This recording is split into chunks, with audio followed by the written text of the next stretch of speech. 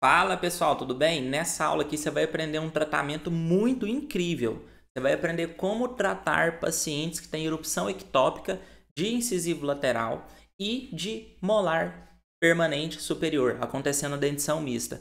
Recapitulando que na última aula você aprendeu como que você trata pacientes com anquilose em dente descido e também se aprendeu como evitar que os incisivos centrais se tornem inclusos no osso alveolar e se acontecer, qual o tratamento para esses incisivos centrais.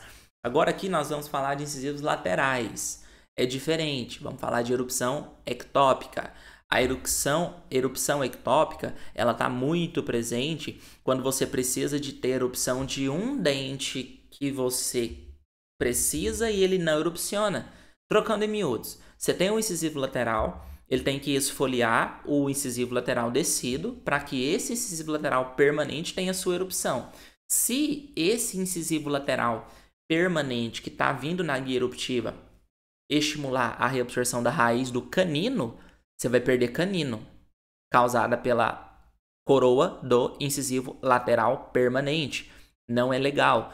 Isso é erupção ectópica. O dente que deveria ser esfoliado não foi esfoliado, esfoliou outro dente adjacente ao lado lateral, aquele dente que deveria realmente ser esfoliado. Isso, consequentemente, causa uma perca de espaço satisfatório no arco. Então, é claro que se você sabe a causa, você sabe tratar. Se eu sei, gente, que o incisivo lateral me estimulou a perca do canino descido, eu vou perder espaço, então tem que recuperar espaço ou manter espaço. Então, na erupção ectópica dos incisivos laterais, você vai primeiro identificar o espaço no arco. Qual que é o perfil desse paciente? Ele é um biprotruso? Ele é um birretruso? Qual que é a altura facial do paciente? Não, aqui eu estou te explicando sobre espaço antero-posterior. Então, se eu quero manter, se eu quero recuperar espaço, esse tratamento se torna mais complexo.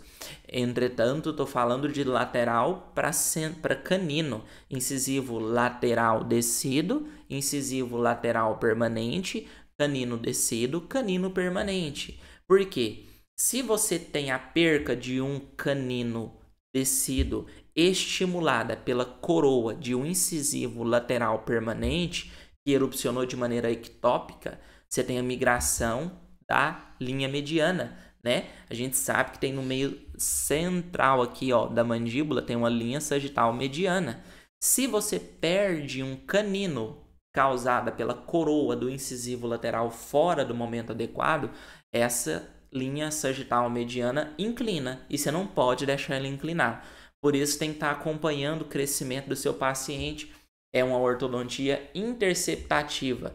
A dentição, você vai prevenir que essa linha sagital mediana incline com o arco lingual, que é esse aparelho que vos apresento nesta imagem, com duas bandas cimentadas nos dentes molares. A gente tem um fio de aço lingual soldado esse fio na banda do molar, porção lingual da banda, e tem um esporão, que é esse fiozinho se estendendo com a solda de prata na distal do incisivo lateral. Para que, que esse esporão? Para não deixar que os incisivos laterais incline e leve junto a linha sagital mediana.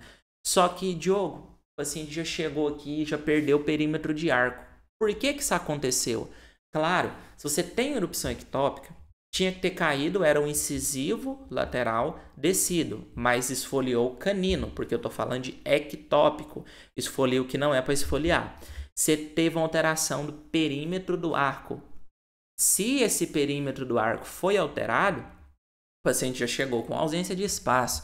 Então você tem que manipular esse espaço e recuperar esse espaço para ele. Como que você vai fazer isso? Você pode fazer isso com arcos que expandem o arco a gente tem aparelhos que fazem expansão de arco, só que você tem que ter na sua mente que o perímetro está reduzido. Se o perímetro não está reduzido, você tem que manter o espaço. Então, para tratar erupção ectópica causada no dente canino descido pela coroa do dente incisivo lateral permanente, manipulação do espaço. Um aparelho que te ajuda muito é o arco lingual. Mantenedor de espaço, banda alça. Logo, logo a gente fala desses aparelhos. Só que Diogo já chegou aqui, já perdeu tem muito tempo. A erupção ectópica já aconteceu, já está bem avançado.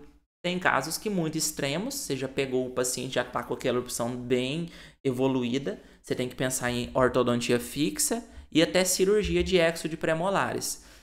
Mas eu te falei que você ia aprender também sobre erupção ectópica dos primeiros molares superiores, tá? Então não deixe de se inscrever no meu canal, eu tô aqui é para te ajudar, não é para te vender aqueles cursos de mil, mil, dois mil reais não, tá? Então me ajuda também, se inscreve no meu canal e contribua com a formação de outros profissionais se inscrevendo, porque quanto mais inscrito a gente tiver em equipe, em parceria, mais alunos de odontologia e mais dentistas vão ser presenteados com esse conteúdo extremamente satisfatório e gratuito.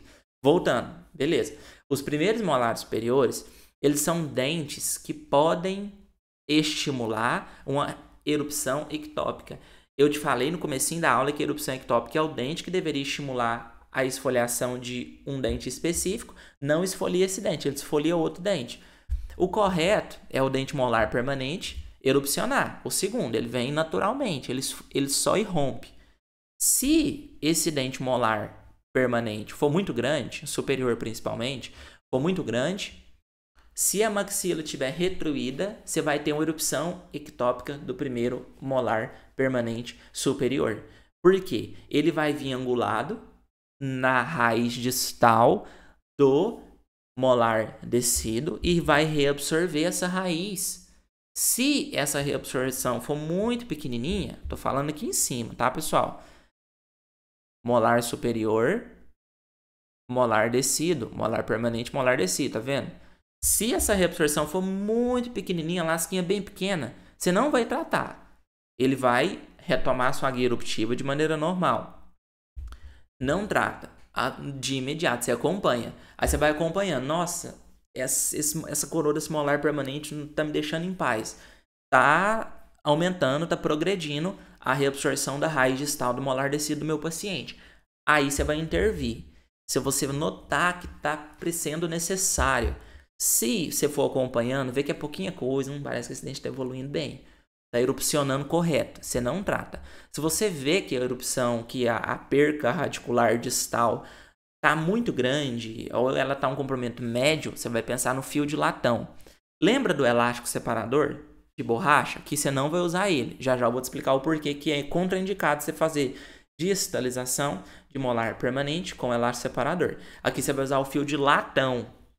Para quê? Você joga esse molar que está causando essa reabsorção aqui, ó, para distal. Só que o dente está erupcionando. Nem sempre ele vai ter esse espaço interoclusal, interproximal para você fazer a, o amarrado do fio de latão. Tem casos que vai ser difícil, o dente está na guia eruptiva. Você faz anestesia, passa o fio de latão na interproximal, abraça, faz um elo, um arco, igual nesse rádio X aqui, ó. Faz um arco com o fio de latão. Calibre do fio, pessoal, 0,20. Esse fio não tem memória de forma.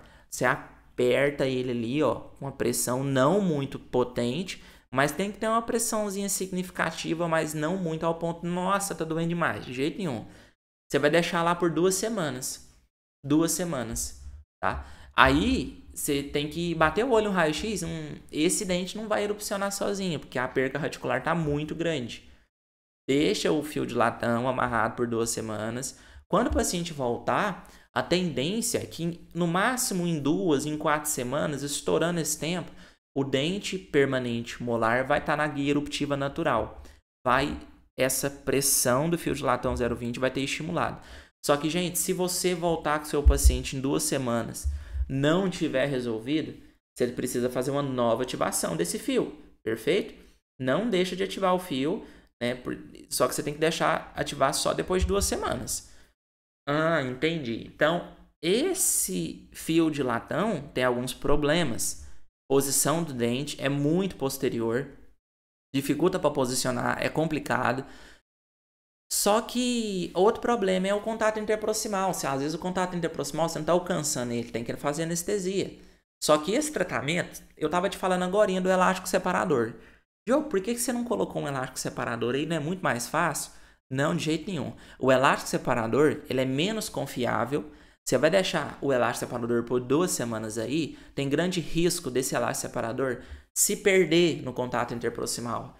E eu não vou achar? Dificilmente se acha. Porque quando ele se perde no contato interproximal, esse elástico separador, ele é, não é radiopaco. Se você tirar o raio-x, você não vai ver ele com facilidade. Às vezes a tomografia, né? Mas não pensa nisso. Você tem que pensar em não acontecer. Então, se você não acontece, isso você não tem o problema em mãos.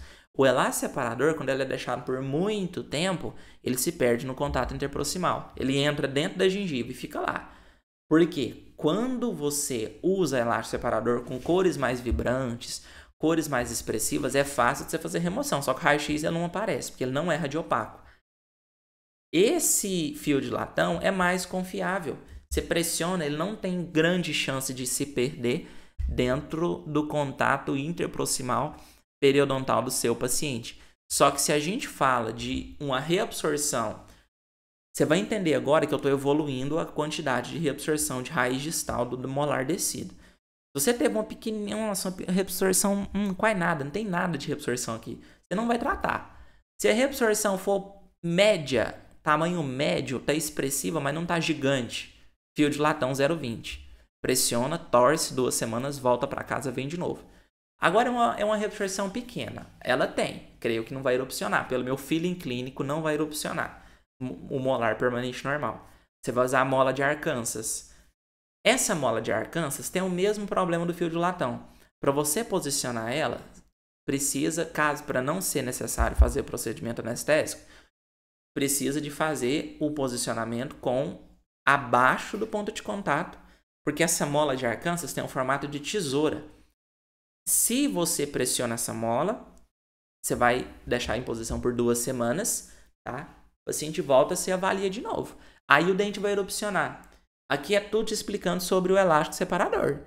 Até que para colocar ele é muito difícil, né? A gente tem dificuldades, o ponto de contato interproximal está muito inferior. É, é difícil colocar esse elástico. Tenta colocar o paciente é muito novinho pra você ver, não vai.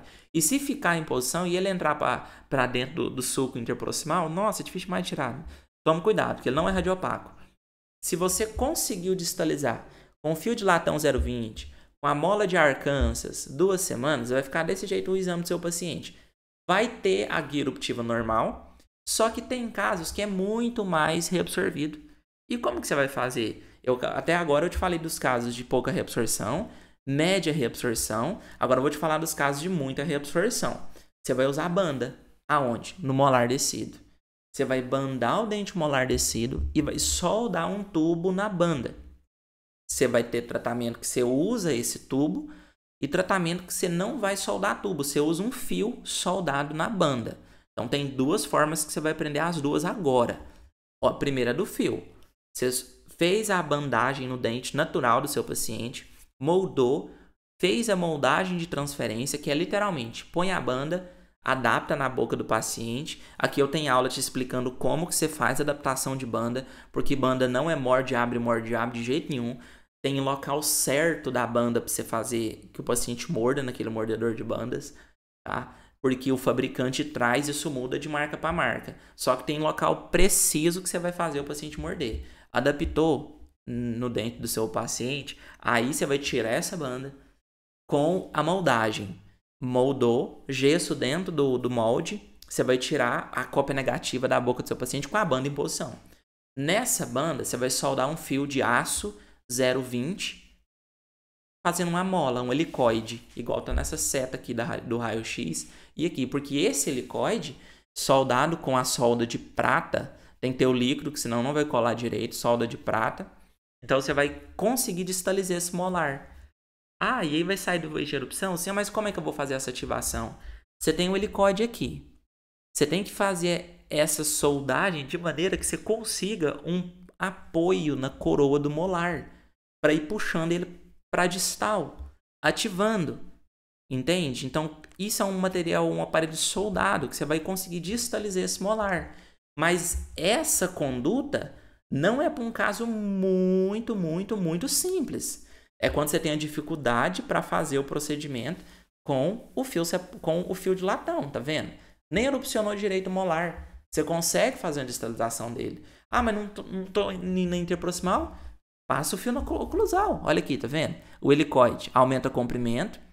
Se você tem um fio mais comprido, maior resiliência, menor resistência, fazendo menos força no dente.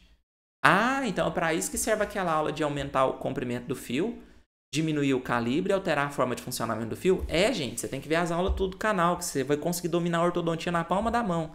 Eu sei que é difícil, é muita aula, mas assiste que você vai querer até ver a próxima, que é muito bom mesmo. Você aprende muita coisa aqui com esse canal. Se você desobstrui o caminho do dente, você vai ter erupção natural. Diogo, você falou que tinha um da, o aparelho com a banda com um tubo. É esse.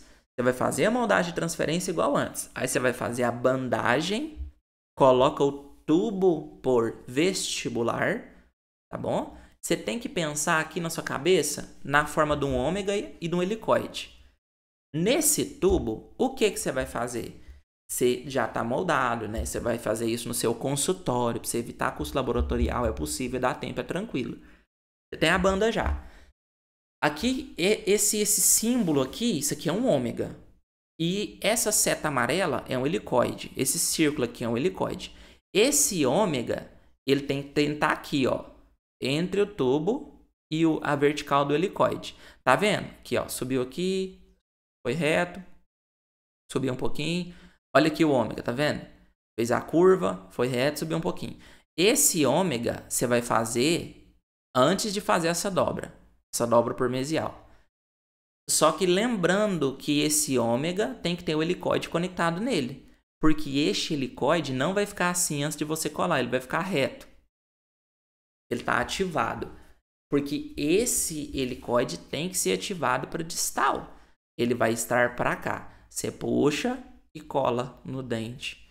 Esta curva você vai fazer antes de ativar depois que colocar o ômega aqui, você coloca o ômega no tubo, faz a curva e aqui já vai estar tá ativado, só que não colado. Por quê? Quando ele está ativado, é mais fácil até de você colocar, não tem tanta curva. Você colocou o fio, ativou antes, que ele não vai ficar assim. Aí dobra na mesial. Dobra aqui e cola, ativando ele, entendeu? Tá bem distalizado, bem angulado. Puxa ele, cola no molar condicionamento ácido com antecedência, adesivo, resina ortodôntica tap, cola. Ele vai ficar pressionando constante, força constante ali para distalizar esse molar. Diogo, tem só essa opção? Não, você pode fazer também com fio retangular de beta titânio ou aço. Como que você vai fazer isso? É simples. Você pega dois tubos de molar, cola um tubo no molar descido, um tubo no molar permanente faz o formato de um, de um arco aqui, ó, reto, curva lá em cima, reto. Você faz essa dobra fora da boca do paciente. Dobra, mede isso no modelo, claro, mede o fundo do suco de vestíbulo, tá bom? Para ativar isso aqui é simples. Puxa as extremidades, vão para lado, vão para o outro. Puxa para cá e uma para cá. Aí ela não vai ficar retinha fora do tubo, ela vai ficar assim, ó, bem curvada. Bem, quase um ômega sem os braços lateral, entendeu? Bem curvada. Aí, quando você apertar e pôr no tubo, o próprio movimento da ativação vai distalizar o molar, que vai empurrar esse molar para cá e esse para cá. Aqui está ancorado pelos posteriores, aqui não tá, então só esse que vai para posterior, pelos anteriores, né, desculpa, só esse que vai para posterior. Isso vai distalizar o molar. Isso vai dar guia eruptiva para ele. Você já aprendeu quatro formas de distalizar um molar permanente que está causando uma erupção ectópica. Como? Fio de latão 0,20, aperta duas semanas. Ah, e se for muito, muito simples, você não vai tratar. Se for um, um avanço médio, pequeno, você pode pensar num tratamento que vai fazer menos força no dente do paciente. Se for um tratamento mais expressivo, mais avançado, aí você vai para as bandas. Se é uma banda que você quer fazer muita força, em um dente que ainda não irrompeu, você vai pensar num fio, helicoide, pressiona na coroa e empurra por oclusal. Diogo, eu não estou conseguindo espaço para colocar esses tubos, que é a outra forma que você pode pôr. O tubo ou banda com tubo e a mola. Diogo, eu não estou conseguindo espaço para colocar esse tubo. Preparo no dente. Faz um preparo que você vai ter mais retenção. Diogo, mas esse dente ainda não irrompeu, tá muito longe. Essa mecânica aqui, ó. Essa aqui, Cadê? Essa. Não, tem outra. Essa mecânica aqui da, do fio. Dessa aqui, ó. Do fio colado na coroa do, fio colado, é, pressionando pela oclusal do dente. Funciona. Esse helicóide ajuda demais na alteração da característica do fio, de forma que ele vai funcionar. Vai ser muito efetivo para o seu caso. Diogo, mas eu quero fazer mais força ainda. Você pode pensar nessa aqui, tá vendo? Ó, aqui não tem tubo. É soldado. Na oclusal do dente, empurrando. Na oclusal. Aqui tem tubo. Na vestibular. Você entendeu que é diferente? Quando você empurra esse fio pela ativação, ativa e cola, você vai distalizar o molar. Ah, e para ativar de novo, já fez, já fez um movimento por duas semanas também. E para ativar de novo, aonde que eu vou ativar esse aparelho? No ômega, vem no ômega e aperta. Ao ponto de distalizar o molar. Se você aperta de baixo para cima aqui, empurra, o que, que vai acontecer? Se você empurrar aqui de baixo para cima, vai empurrar isso para lá. Se você quer ativar um, um, um, um distalização, você tem que pensar no, na ativação contrária. Porque isso vai empurrar o, dente, o, o fio para o outro lado que empurra o dente. Diogo, mas a perca óssea, tá, a perca radicular está muito grande. Exodontia. Não estou conseguindo colar o tubo. Não está tendo retenção, tem muita saliva. Faz o preparo no oclusal. Depois que tratar, você restaura o dente. Infelizmente, tem casos que você vai ter que fazer a exo. E nos casos que você for fazer a exo, você tem que manter o espaço. Se você não manter o espaço, vai ter problema, tá? Mantenedor de espaço ou até recuperar espaço. Se o paciente chegou, sei lá, para você tratar e não tem espaço, tem que recuperar. Tem vários aparelhos que você vai aprender junto comigo aqui nessa evolução das aulas, como que você recupera mantenedor de espaço, logo chegando na aula do banda alça, você aprender como você faz isso. Beleza, pessoal? Gente, agora que eu tenho para vocês um, um fluxograma, onde você vai aprender de maneira fácil e detalhada um auxílio para tomada de conduta. Isso aqui você tem que tirar print, né? não é decoreba, é bom você guardar isso aqui porque os autores preconizam essas tomadas de decisões para auxiliar você no seu consultório aí. Então tira print, volta a aula, pausa, printa. E claro, gente, não deixa de se inscrever no meu canal. Inscreve no canal, tô aqui para te ajudar, não é para te vender curso caro, 2, 3 mil de jeito nenhum. Tô aqui é para te ajudar, meu conteúdo é extremamente gratuito, tá bom? E vamos que vamos, fique com Deus, forte abraço. Muito em breve eu tô de volta com novas aulas para vocês. Valeu!